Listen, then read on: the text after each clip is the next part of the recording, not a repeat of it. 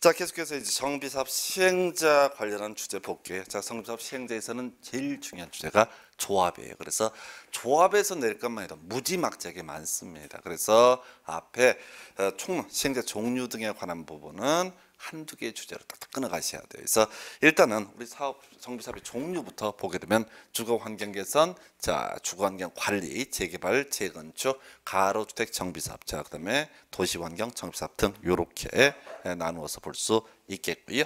해서 시행자 기본적으로 중심축은 조합 이렇게 봅니다. 근데 법에서는요 시장구수 주공 등이 아닌 자가 정비 사업을 시행하고자 할 때 아, 토지 등 소유자로 구성된 조합을 설립해야 된다라고 돼 있어요. 그래서 일단 기본 명제에서 사업 시행자 시장 군수 주공 등 있을 수 있겠고요. 보통 공적 주체로 해석을 하게 됩니다. 그리고 또 하나가 바로 토지 등 소유자가 나중에 문제가 되죠. 바로 도시 환경 정비 사업에 있어서는 토지 등 소유자가 직접 시행자가 될 수 있다. 그다음에 조합이라고 하는 것까지 자 총 세 가지 정도가 중심적. 그다음에 이제 지정 개발자라고 하는 게 하나 나오는데 요거 그 지역 지주를 얘기하고요. 나중에 뒤에서 어, 믿을 수 없는 존재라는 개념으로 해석을 하게 됩니다. 그래서 일단은 뭐 시장 우수 주공 등은 중요한 이슈 아니고요. 토지 등 소유자. 요게 왜 중요하냐면 나중에 조합원의 자격을 따져 물을 때 아, 바로 토지 등 소유자로 하되 이런 표현이 들어가거든요. 그래서 토지 등 소유자가 뭐냐 상당히 많습니다. 그래서 일단은 그 내용을 보지 마시고 머릿속으로 외우셔야 돼. 토지 등 소유자는요.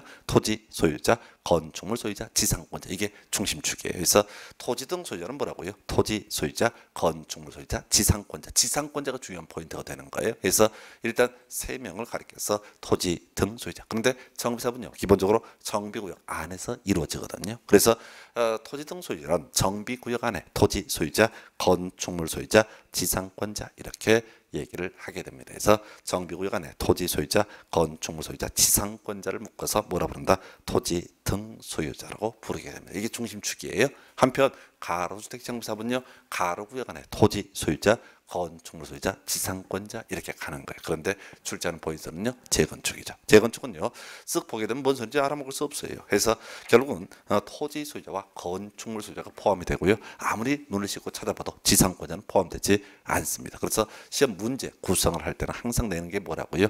아, 바로 지상권자, 재건축의 지상권자가 토지 등 소유자다. 재건축의 지상권자가 조합원이다. 그게 틀렸다고요. 그래서 토지 등 소유자 한보라고요. 기본적으로 정비구역 또는 토지 가로구역 안에 토지 소유자, 건축물 소유자, 지상권자. 근데 재건축은요. 앞에 논의할 때 정비구역 안에서 시행하는 경우도 있고요. 정비구역 밖에서 시행하는 경우도 있습니다. 그래서 그래서 대신 뭐는 포함되지 않는다. 지상권자는 포함되지 않는다. 이 결론이라고요.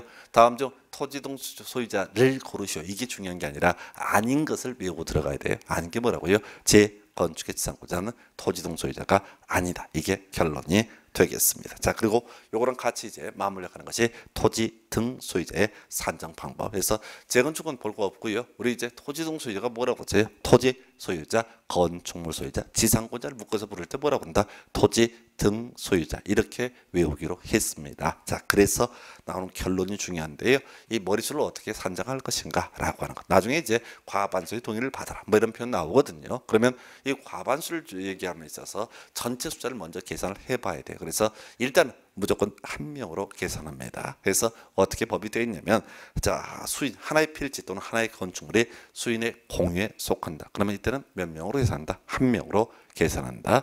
두 번째 한 사람이 다수의 필지 다수의 건축물을 가지고 있다라고 할 때라도 이때는 어떻다? 한 사람으로 계산을 하게 된다. 그리고요 토지의 지상권 설정돼 있어도 다 어, 토지 소유자와 지상권자를 대표하는 한 사람을 토지 등 소유자로 본다 해서 자 그리고 이제 따지면 남는 것이 토지 소유자와 바로 건축물 소유자가 다른 경우 이때만 각 1인을 뭘로 본다? 토지 등 소유자 해서 아, 한 명으로 계산은 각각 1인을 토지 등 소유로 계산다 할 것이고요. 다시 정리하면 이렇습니다. 지금 토지 등 소유자라고 하는 것은 토지 소유자, 그 다음에 건축물 소유자, 그 다음에 지상권자 이렇게 총 3명이 중심축이 되게 된다고요. 어차피 재건축은 지상권자가 빠지기 때문에 시험에 나오지 않습니다. 그랬을 때, 자, 요거 이제 경우수를 따졌을 때 한 사람이 다수의 필지, 다수의 건축물을 가지고 있으면 한 사람을 본다. 또 어, 자, 뭐가 어, 하나의 토지 또는 하나의 건축물 여러 명이 공유하고 있어도 한 사람으로 계산한다. 그리고 토지의 지상권 설정돼 있으면 대표는 한 사람을 토지 등 소유자로 보고요. 마지막 쟁점 토지 소유자, 건물 소유자가 다를 때는 이들 어떻게 다 각 1인을 토지 등 소유자로. 그래서 요건 밑에 문제 가지고 한번 볼까요? 자, 각 필지별로 재개발이라고 되어 있고요. 토지 등 소유자의 수를 구하시오라고 되어 있습니다. 1번지를 보니까 토지 소유자 한 명 있죠? 그러면 1번지에서 나오는 토지 등 소유자는 한 명 이렇게 가는 거예요. 두 번째요. 자, 토지 소유자 BC가 공유하고 있고요. 지상권자 DE가 공유하고 있습니다. 앞에서 논의할 때 공유하면 대표는 한 사람을 뭘로 본다? 토지 등 소유자. 그래서 자 BC 중에 대표는 한 사람, 또 DE 중에 대표는 한 사람 이렇게 가야 되는데 문제는 토지 지상권이 설정돼 되면 어떻다? 이때는 대표는 한 사람. 그래서 전체를 대표는 한 사람이 뭐가 된다? 토지 등 소유자. 해서 이렇게 차트 나올 때는요 지상권 다 무시해 버리세요. 지상권자는 다 무시하시면 됩니다. 지상권자는 어차피 나중에 분양 대상 관리 처분할 때도 그 분양 대상에서 제외 되게 됩니다. 그래서 그 정도로 봐주시고요. 그 다음에 3번지를 보니까 자 토지 소유자, 건축물 소유자라고 하는 거 다르네요. 그러면 이때는 각각 이름을 뭘 본다? 토지 등 소유자. 4번지 보니까 A, A 이렇게 되어 있어요. 토지 소유자 A, 건축물 소유자 A. 그러면 대표는 한 사람이 뭐가 된다? 토지 등 소유자. 그런데 이 문제는 약간 꽈놓은 거예요. A라고 하는 사람은 제일 1번지에서 이미 토지 등 소유자로 계산이 된 바가 있습니다. 그래서 결과적으로 1번지 한 명, 2번지 한 명, 3번지 두 명, 4번지 한 명이라서 총 다섯 명처럼 보이는데 A가 중복되기 때문에 이때는 어떻게 한다고요? 바로 자, 총 네명이 뭐가 된다? 토지 등 소유자. 해서 계산할 때 가장 편한 방법. 자 공유하고 있으면 대표는 한 사람 그리고 자 한 사람이 다수 필지 한 사람 이렇게 갈 것이고 토지와 건물이 토지 소유자와 건축 아, 지상권자가 다를 때는 대표는 한 사람에서 이런 식의 문제 지상권자는 무조건 버리시면 돼요. 그러면 계산이 훨씬 더 쉬워지게 됩니다. 그래서 자 정리합니다. 토지 등 소유자 재건축을 제외하고 기본적으로 정비구역 안에 토지 소유자 건축물 소유자 지상권자 이렇게 가게 될 것이고요. 그리고 나서 그리고 나서 지금 문제가 되는 것들 어, 바로 토지 등 소유자를 산정할 때는 공유하면 대표는 한 사람, 한 사람이 다수의 필지 등 한 사람, 그리고 토지의 지상권 설정됐어도 대표는 한 사람. 누가 됐냐는 중요한 게 아니에요. 그리고 나서 토지와 건물 종물 소유자가 다를 때는 각 1인을 토지 등 소유자로 산정하게 된다 해서 그 정도까지가 토지 등 소유자의 산정 방법 이렇게 정의를 합니다. 자, 그 다음에 이제 141페이지 정비사별 시행자라고 해서 제일 어려운 파트죠. 앞에서 논의할 때 이 정비사별 시행자는 시장구수 주공 등이 아니다라고 한다면 기본적으로 조합이 시행자가 된다라고 봤습니다. 물론 이 조합 외에 도시환경 정비 사업에 있어서는 토지 등 소유자가 조합을 설립하지 않고도 직접 시행자가 될 수 있다. 이걸 사안을 단순화시키면요. 이렇게 되어 있죠. 자, 주거 환경 개선 사업에 있어 시행자는 누가 된다? 시장, 군수, 주공 등 이렇게 되어 있고요. 그래서 나중에 동의 요건 요거 하나 따로 출제 포인트가 되게 될 것이고 그다음에 이제 주거 환경 관리는 원칙이 시장, 군수, 주공 등인데 또 예외적으로 시장, 군수, 주공 등 해서 요게 이제 좀 특이한 구조예요. 그래서 아까 주거 환경 관리사면 어떤 경우라고 했어요? 자, 시장, 군수 등이 어, 도로 확장해 주고 스스로 주택을 개량하는 방식으로 시행하는 사업을 주거 환경 관리. 그래서 시행자는 시장으로서 주공등이 될 수밖에 없습니다. 그리고요. 지금 재개발, 재건축, 도시 환경 정비, 가로등 정비 등 기본적으로 다 중심축 온도가 된다. 조합 이렇게 얘기를 하게 돼요. 다만 이 도시 환경 정비 사업에 있어서는 특이하게 조합을 설립하지 않고도 토지 등 소유자가 시행자가 되는 것도 가능하다라고 이렇게 정리를 하게 됩니다. 자, 이런 전제하에서 전체 그림 보니까 예외적으로 주공환경 관리부터 예외적으로 시장, 군수, 주공 등 이렇게 되어 있어요. 그래서 이런 법정 구조를 보게 되면 말이 안 돼요. 주거환경 관리 같은 경우는 원칙이 시장호수 주공등이고 예외적으로 시장호수 주공등 이런 걸 디테일하게 구성하지 않아요. 왜? 시험 문제는 어디서 내야 된다고요? 조합에서 주로 출제가 돼야 돼요. 자, 여기서는 이제 굳이 하나 기억한다면 중심축은 자 주거환경 개선을 제하고는 중심 주거환경 개선과 관리를 제하고는 중심축이 조합이 될 텐데 도시 환경 정비 사업에 있어서는 누구도 시행자가 될 수 있다. 바로 도시환경 정비 사업에 있어서는 누구도 누구도 누구도 토지 등 소유자 이건 별건 아니고요. 우리 도시 개발법 할 때 환지 방식에서 시행자라고 했을 때 토지 소유자 또는 조합 이렇게 봤어요. 그 왜 토지 소유자가 들어가냐라고 했을 때 도시 개발법에서는요. 조합을 설립하려면 토지 토지 소유자 7명 이상이 필요합니다. 과정에서 그래서 도시 개발 구역 안에 토지 소유자가 6명 이하가 될 때는 조합을 설립하기 할 수 없기 때문에 토지 소유자는 경우 수가 나오고요.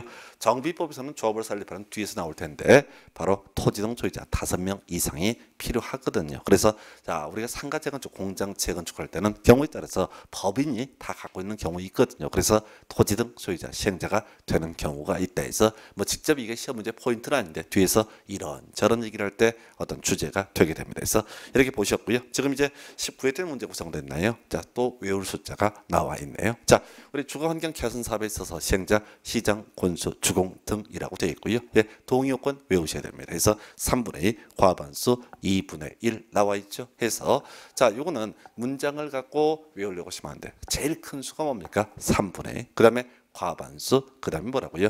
2분의 1 이렇게 가는 거예요. 그래서 요거는 제일 앞에가 3분의 2, 두 번째가 과반수. 그 다음에 어, 지금 세입자 수가 토지등 소유자의 2분의 1 이하일 때 세입자의 동의는 요하지 않는다. 이런 논리 구조가 될 텐데 이 밑에 문제 나와 있잖아요. 제일 앞에가 뭐라고요? 3분의 2. 두 번째가 뭐라고요? 과반수. 그리고 또 하나가 뭐라고요?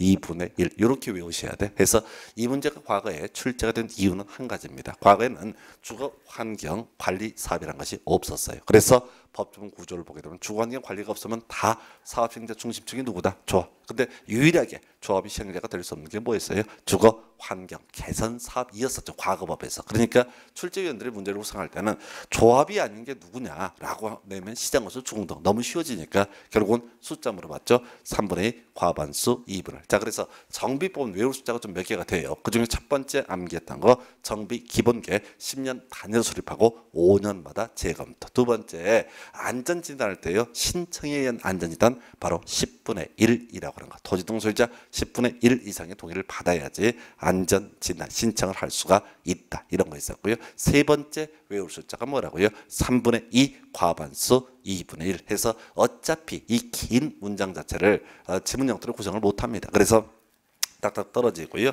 그 다음에 이제 논의를 해야 될 것이 넘어가서 거기 이제 제, 어, 주거 환경 관리 특약의 시장우수 주공 등 예외 시장우수 주공 등이고요. 아, 재개발, 재건축 등 나오게 됩니다. 그리고 어, 가로주택 정비사업도 조합 이렇게 볼 것이고요. 다만 도시 환경 정비 사업에 있어서는 누가 토지 등 소유자가 시행자가 되는 경우도 있다 해서 문제는 이게 가끔가니 과거에 구- 구성이 됐는데 한 번도 시험 문제 답이 된 적이 없습니다. 그냥 자 이게 이제 색깔이 입혀져 있으면 제 교 제가 이제 출판사 직접 만든 데서는 어, 색깔 다 입혀서 보고 있는데 한 번도 답이 되지 않아요. 이런 것은 중요치 않습니다. 그리고 자 27회 때 나왔던 것이 이 얘기였었죠. 지금 어, 재개발 등에 있어서 주로 조합 등이 시행자가 돼야 되는데 예외적으로 시장, 건설, 주공 등이 시행자가 되는 경우도 있다 라고 해서 경우의 수 8개 있고요. 예, 요거 틀리라고 낸 문제 되겠습니다. 일반 수험생들이 맞추기 어려워요. 그냥 버리시면 좋겠고요. 오히려 여기서 필요한 개념은 정비 사업의 대신 시행이라고 하는 주제. 해서 논리 구조를 간단히 설명드리면 기본적으로 조합이 시행자가 돼야 되는데 예외적으로 시장 우수 주공 등이 시행자가 될 수 있다라는 전제 하에서 그 다음에 문제가 되는 것이 대행이라고 해서 대신 시행이라고 하는 개념이 문제가 되게 됩니다. 대신 시행이라고 하는 것. 해서 이 대신 시행이라고 하는 개념은 논리 구조가 뭐냐면 기본적으로 조합이 시행자가 돼야 되는데 예외적으로 자 뭐 천지시변 등 동네가 아사리 판이 되게 되면 누가 시행자가 될 수 있다. 시장 우수 주공 등이 시행자가 될 수 있다. 그래서 자 이건 이제 대행이라고 하는 것은 이런 의미를 포함을 하고 있습니다. 그래서 즉 사업 시행자 자체가 변경되는 것은 아닌데 실무적인 요소를 공적 주체가 담당하는 것을 정비 사업의 대행해서 자 이건 이렇게 가야 되죠. 자 시장 군수 자 조합 등을 대신하여 직접 정비 사업 시행할 수 있다. 또는 자 주공 등자자 자 시장 군수는 이 자, 주공 등 또는 지정 개발자로 하여금 대신하여 시행케 할 수 있다라고 해서 왜 이렇게 뭐라고요? 자, 대, 시장 군수 대신하여 시행할 수 있다. 또 시장 군수 대신하여 시행케 할 수 있다 해서 요 정도까지만 가시는 거예요. 그래서 여기 이제 더 디테일한 부분이 지문에 한번 출제가 된 적이 있는데 자, 여기는 출제 비중 낮아요. 지금 이 파트 갈 게 아니라요. 우리가 지금 제일 많이 나오는 게 조합이에요. 조합. 조합 무조건 출제가 되고요. 거기서 외울 게 너무나 많습니다. 그래서 다른 얘기를 하고 있을 것이 아니라 그저 조합 찾아보시는 것이 중요한 포인트다라고 해서 어, 대신 이제 그 시공자 선정 얘기가 그 다음 페이지에 나와 있는데요. 요건 두 가지로 가십시다. 자, 딱 하나의 구조 가 구조가 될 텐데 요 얘기를 하려면은 자 거기 이제 시공자 선정이라고 하는 게 경쟁 입찰도 있고 경쟁 입찰이 아닌 경우도 있고 등 여러 가지 경우일 수가 있습니다. 그래서 여기서는 구조를 보실 게 자 원칙은 당연히 시공자를 선정할 때 어떻게 해라 경쟁 입찰에 의한다. 이게 전제가 되셔야 돼서 여기 한 번 구성이 되는데 딱 두 가지만 암기하고 들어가시면 됩니다. 그래서 경쟁 입찰이 아닌 것을 고르시오라고 했을 때 바로 조합 뭐야 조합 중에서요. 조합원이 100명 이하인 정비 사업에 있어서는 총회에서 정관이 정하는 바에 따라서 시공자를 선정할 수 있다. 이렇게 되어 있거든요. 그래서 이 얘기는 뭐냐면 경쟁 입찰이 아닐 수도 있다. 다시요. 조합이 정비 사업의 시행자가 되는 경우 당연히 어떻다.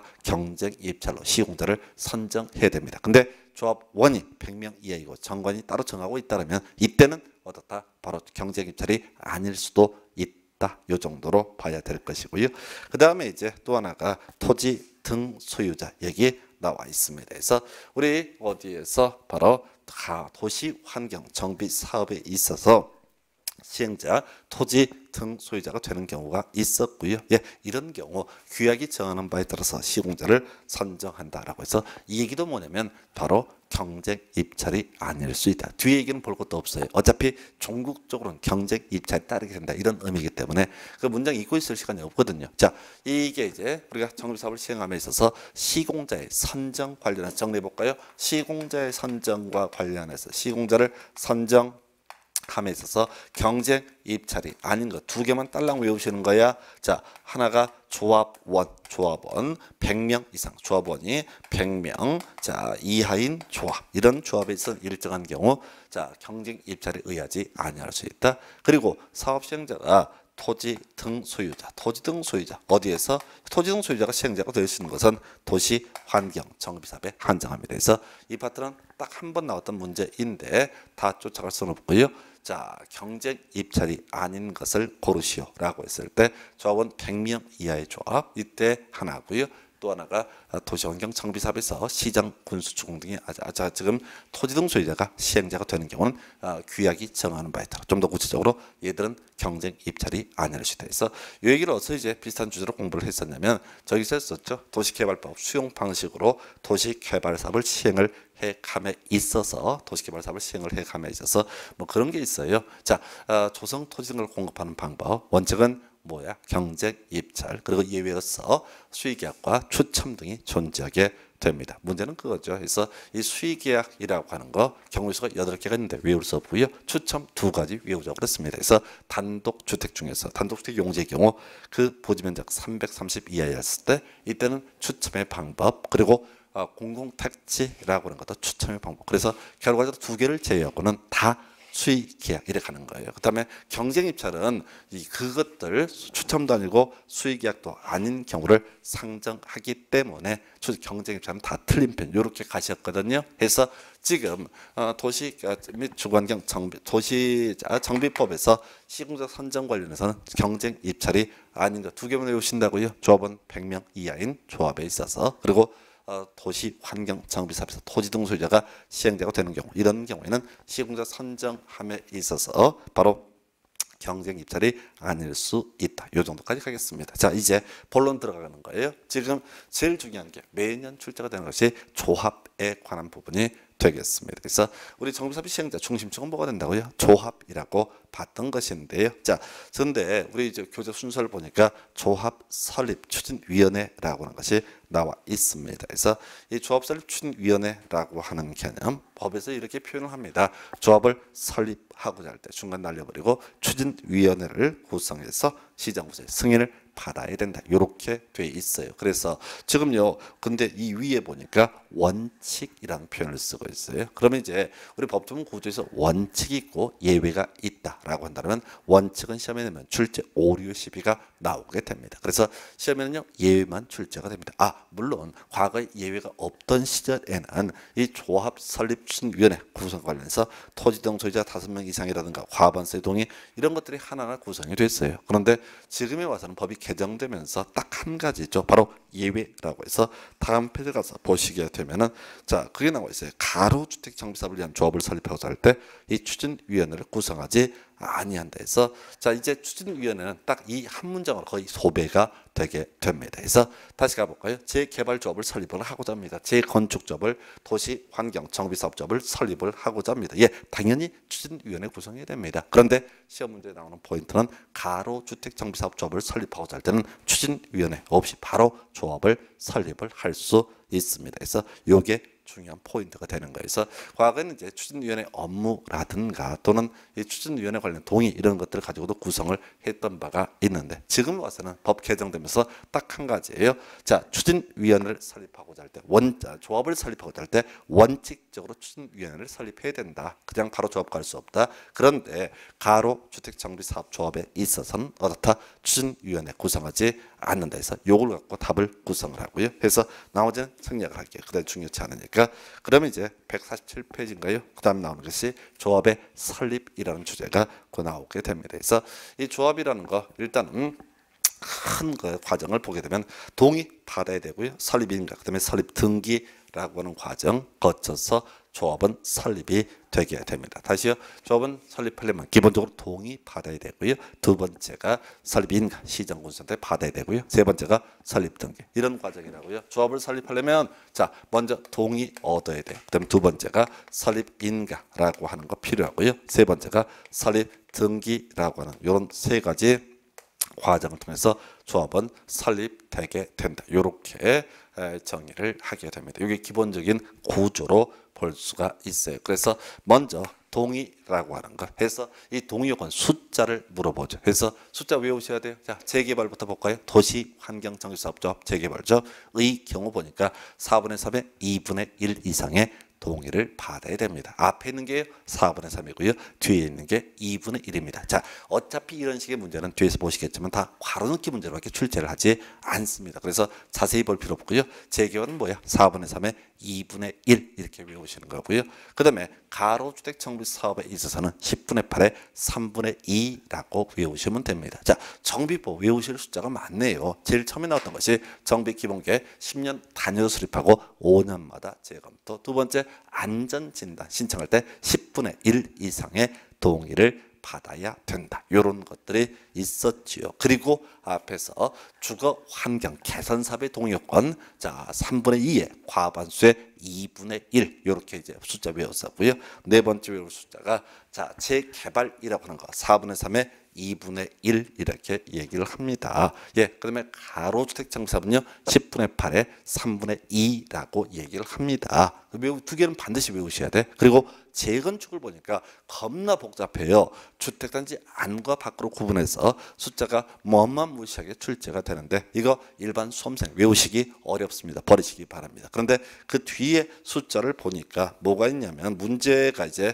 하나 예제가 나와 있는데 재건축 사업 뭐 나와 있고요. 그 다음에 재개발 나와 있습니다. 그래서 이렇게 빡센 문제를 풀어가실 때는 절대로 어떻게 하자 밑에서부터 위로 치고 가셔야 돼. 항상 빡센 문제는요 위쪽이 어렵고 아래쪽을 쉽게 내는 게 일반적인 출제 기술이에요. 그래서 자 우리가 재건축은 아예 외우지 말기로 했어요. 그죠? 외울게 재개발 도시환경 정비사업조합은 4분의 3의 2분의 1 재건축은 뭐라고요? 자 가로축 정비사업은 10분의 8의 3분의 2 이렇게만 가시는 거예요. 그래서 지금 이것은 그 여러분 차례 148페이지인가요? 문제 나와 있는 거 재개발만 아시게 되면 이 문제를 다 풀 수가 있어요. 자, 그 다음에 이제 또 한 번 문제 구성될 때 가로주택 정비사업만 아, 외우게 되면 은 다 문제를 풀 수 있게 만들어 줍니다. 그래서 정리합니다. 지금 첫 번째 숫자 정리할 거 지금 재개발과 도시환경 정비 사업적 도시환경 정비 사업은 아직은 안 나오고 있어요. 똑같은 구조예요.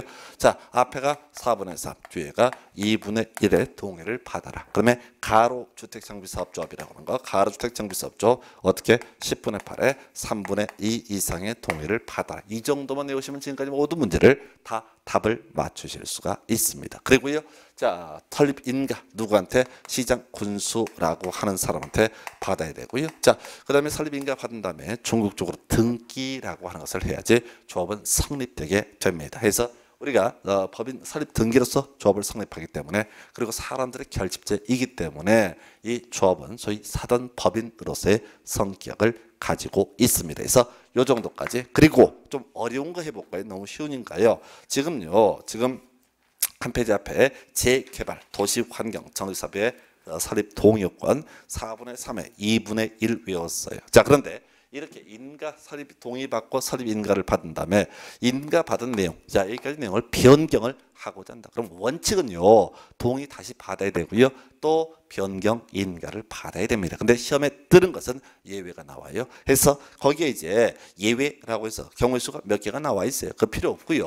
우리가 어차피 시험에는 예외만 출제가 되기 때문에 어떤 경우에 어떤 경우에 어, 동의 없이 또 어, 인가도 안 받고 이 신고로서 가능한 거냐라고 하는 것은 중요치 않아요. 그래서 시험 문제 구성할 때는 무조건 어, 이 예외 지문 지금 여러분 자료에 네 개 다섯 개 나와 있네요.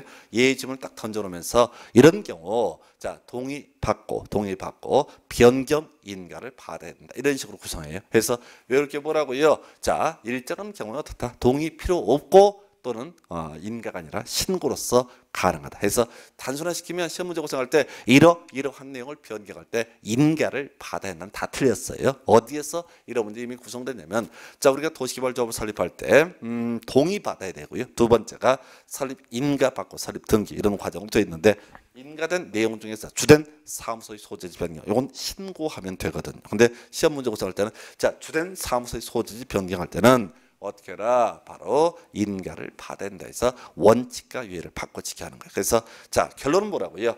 갑니다. 재개발 등에 있어서 동의받고 설립 인가했던 받았던 그 내용을 변경하고자 할 때 원칙은 다시 동의받고 또 설립 인가를 받아야 한다. 그런데 실제 시험에 뜨는 건 일정한 경우 아, 그 내용을 아실 수는 없어요. 예, 그런 경우 일정한 경우에는 어떻다 동의 없이 신고로서 가능하다. 그래서 이렇게 뭐라고요? 인가받은 내용을 변경할 때 동의 없이 신고로서 가능하다. 해서 문제 구성할 때는 동의는 받아야 된다라고 해서 틀리게 뽑아주거나 자 인가는 받아야 된다라고 해서 틀리게 뽑아주거나 해서 그게 아니라 자 이런 일정한 상 시험에 뜨는 게 뭐라고 동의받고 설립 인가 상을 변경하고자 합니다. 그러면 이때 뭐라고 결론은 동의 필요 없고 어떻다 신고로서 가능하다 이렇게 요걸 외우셔야 돼. 그래서 경우의 수를 따지는 건 아무런 의미가 없어요. 어차피 시험에서는 법조문에서 그대로 출제가 되기 때문에 예, 자 동의 없이 신고로서 가능하다. 해서 거기 이제 이미 답이 됐던 주제이고 다섯 개 항목이 나와 있는데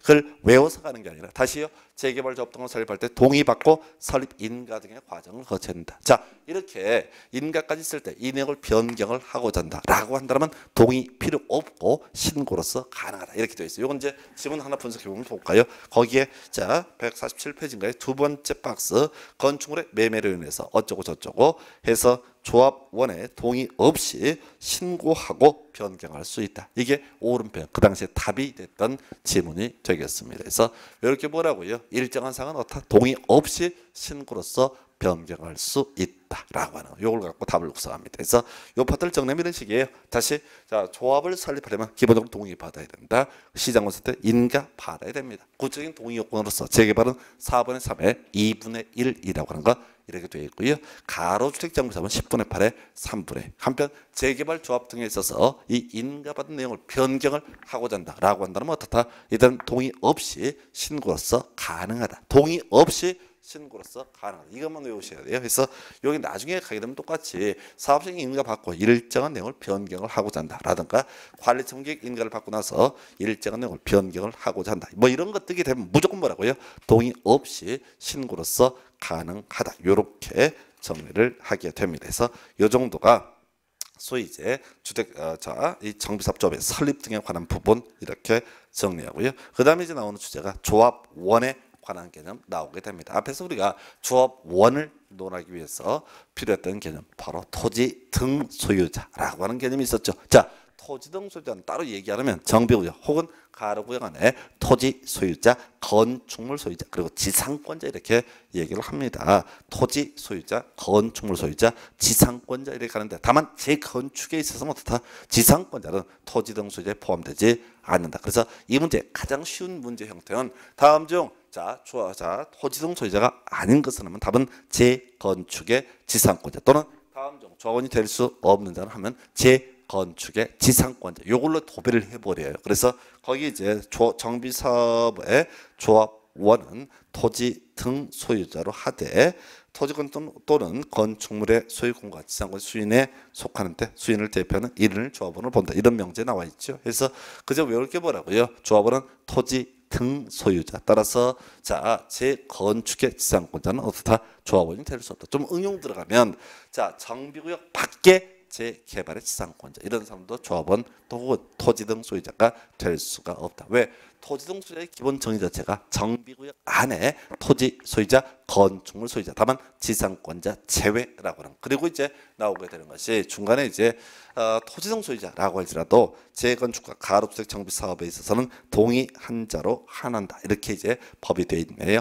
그래서 이건 아직까지 한 번도 구성이 안 됐어요. 그래서 논리 구조가 뭐냐면 이 재건축이라든가 가로주택 정비 사업이라고 하는 것은 어, 논리 구조가 우리가 이제 공법의 영역에서 공부를 하고 있지만 본질적으로 사유재산권 영역에 해당이 되게 됩니다. 그래서요. 바로 자 이때는 어, 재건축에 동의하지 않는다라고 하면 그 사람은 조합원에서 제외되고요. 소위 매도 청구의 대상이 되게 됩니다. 근데 이건 거의 아직까지 단 한 번도 시험에 나오지 않았고 요게 동일한 논리 구조로 주택법에 넘어가게 되면요. 리모델링 주택조합 설립에 동의하지 아니한 자 이 사람 조합원 될 수 없고 매도 청구를 할 수 있다. 이 내용이 주택법에서 중요한 출제 포인트로 구성이 되게 됩니다. 그 정도고요.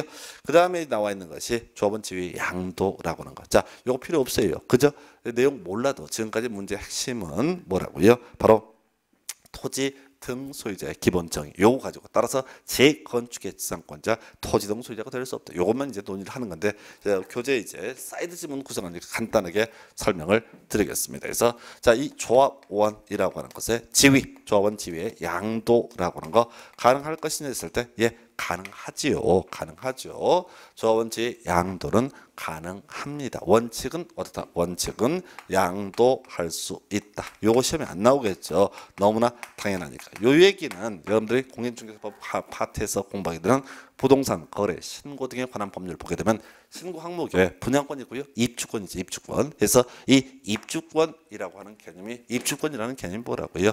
바로 이 정비사업 조합의 조합원의 지위라는 개념이 되겠습니다. 그래서 자 당연히 양도 가능한데 시험에 뜨는 것은 예외 관련해서요. 자 투기 과열 지구내 재건축 조합원의 지위라고 하는 것은 양도할 수 없다. 안 나와요. 왜? 이것은 또 예외가 이것은 예외가 또 있거든요. 그래서 투기 과열 지구나 재건축 조합원의 지위가 양도가 가능한 경우가 있습니다. 근데 이거는 내용을 몰라도 별 문제가 되지 않는다. 나중에 주택법을 공부할 걸 대비해서 어, 간단하게 설명을 드리겠습니다. 그래서 투기 과열지구나 재건축 조합원의 지위임에도 불구하고 양도 양수가 가능한 경우가 있다 해서 자 이렇게 우리가 설명을 드렸었죠. 한 페이지 넘기시게 되면 이사 이사 불가피한 이사에서 일단은 크게 두 가지네요. 상속과 이혼이라고 하는 개념이 하나가 있을 것이고 다른 도시로 이사, 다른 나라로 이사, 다른 세상으로 가시면 주택으로 이사 가는 경우 이런 경우에는 투기 과열적으로 재건축 조합원의 지위라고 할지라도 예외적으로 양도가 가능하다 해서 이런 얘기죠. 자 남편 이름으로 지금 투기 과열적으로 재건축 조합원의 지위를 가지고 있습니다. 그러면 요거 양도할 수 있다 없다 가자 기본적으로 어, 양도를 안 되죠. 그러면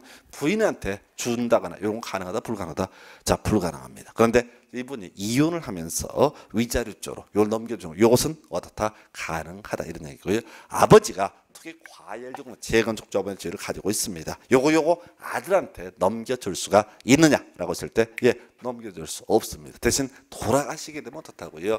자 우리가 상속인이 사망에 이르게 되면은 그때 바로 어, 등기를 하지 않아도 소유권 취득하게 되죠. 그래서 상속과 이혼이라고 하는 것은 소위 에, 상속과 이혼이라고 하는 개념은 뭘 얘기를 하느냐라고 했을 때 상속 이혼이라고 하는 거 이건 신분관계 변동이고요. 그 밑에 이제 다른 도시, 다른 나라, 다른 세상으로 가시면 주택으로 이사 가는 경우에서 다른 나라는 해외 이주, 해외 2년 이상 체류 등을 의미하게 됩니다. 그래서 그 정도까지. 근데 다시 돌아가세요. 조합원의 자격 따져 물을 때는 그저 그저 그저 토지 등 소유자 해서 토지 등 소유자가 될 수 없는 경우 재건축의 지상권자는 바로 조합원 될 수가 없다. 없다라고 이렇게 얘기합니다. 그래서 이렇게 해서 두 번째 주제로, 주제로서 조합 원이라는 개념을 확인해 봤고요. 세 번째요. 임원이라고 하는 거. 이 임원 파트는 지문 자체가 대단히 간단하죠. 몇 개 되지 않습니다. 그래서 일단 조합장은요. 조합을 대표하고 대의원의 의장 등이 되게 된다라고 해서 자 이명제는 그 뭐랑 이제 관련이 되냐면 그 다음 페이지 가면 제일 마지막 문장이 있어요.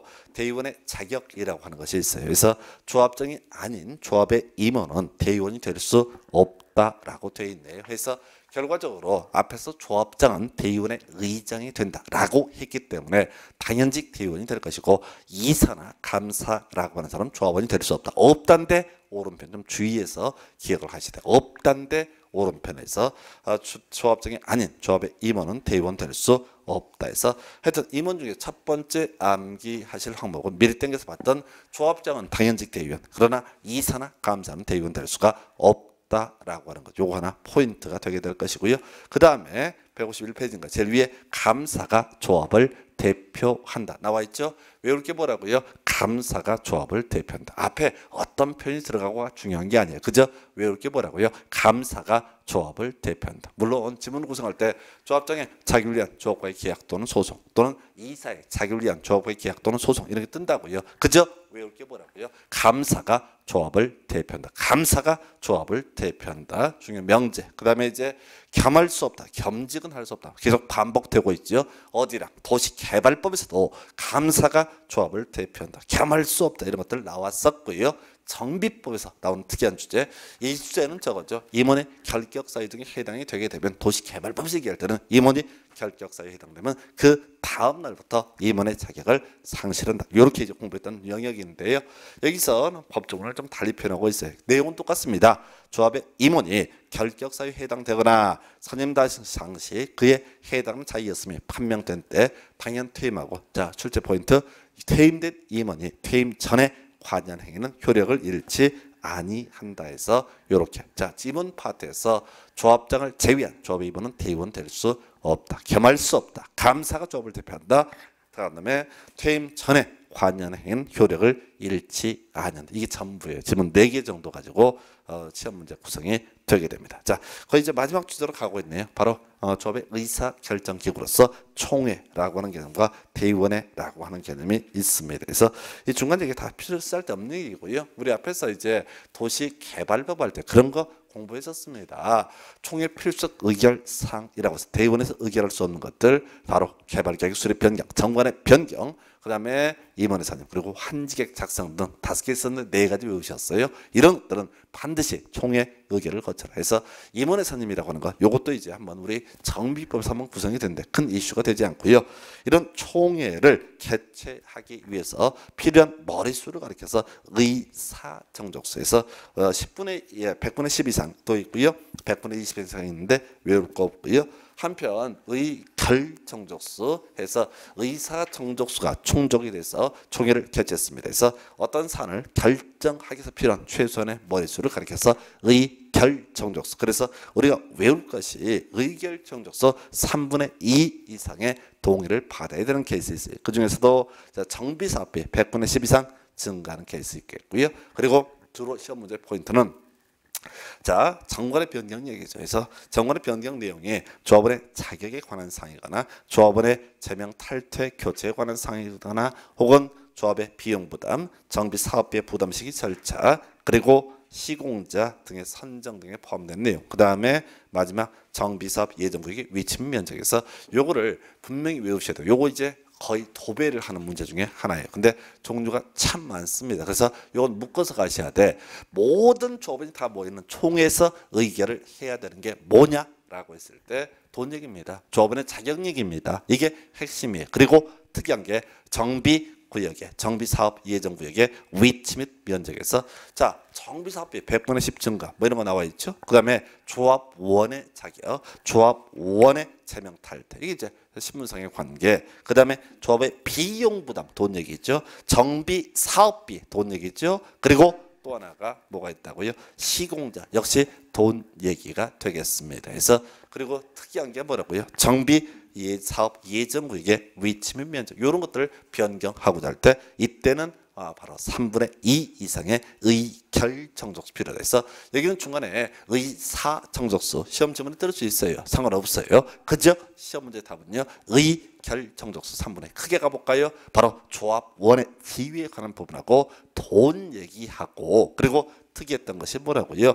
정비삽 예정구역의 위치 및 면적이라고 하는 것. 다시 조합원의 지위 등에 관한 쟁점, 그다음에 돈 얘기, 그걸 정비 사업비라든가 조합의 비용 부담, 시공자 이런 식으로 풀어 쓰고 있는 것이고요.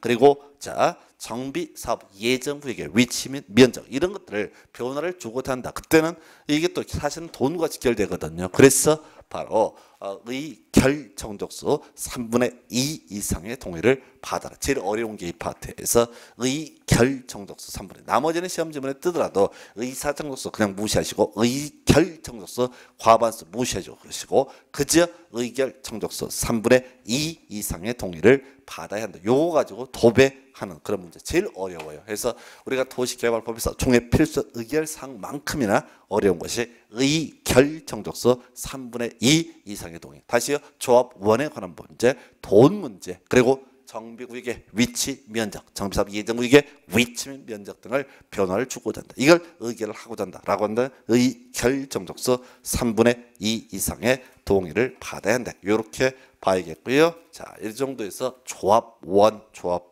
자, 임원, 그 다음에 총회 이런 내용. 그리고 조합의 설립 과정 등에서 보셨으면 돼서 하여튼 조합 파트는 뭐 뭐죠 많으면 두 문제 세 문제까지 나올 수 있는 것이 조합에 관한 주제. 잠시 쉬었다가 정답 시행 등에 대해서 확인을 하도록 하겠습니다.